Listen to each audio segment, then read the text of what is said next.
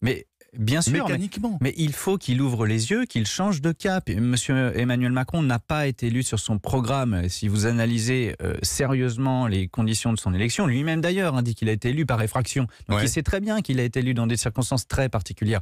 Dès le premier tour, un certain nombre de personnes ont voté pour lui, d'ores et déjà pour faire barrage euh, au Front National, si bien que la base de soutien idéologique euh, au président de la République était de, de 12% environ entre les vrais inscrits et ceux qui n'avaient même pas, qui avaient voté pour faire barrage.